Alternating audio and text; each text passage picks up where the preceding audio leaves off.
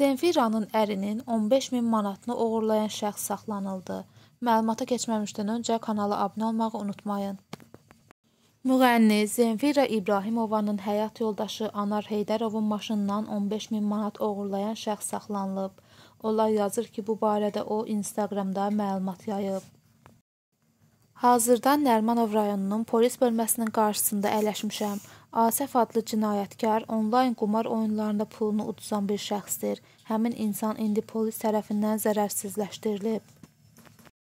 Mənə yazıbmış ki, anam xəstədir. Kartı göndərib ki, yardım edin. Mənə indi polislər göstərib. Ondan bundan pul alıb qumara verirmiş. Qeyd edək ki, bir neçə gün əvvəl Zenfira İbrahimova gecə saatlarında naməlum şəxsin Anar Heydərovun maşınından 15 min manat pul oğurladığını açıqlamışdır.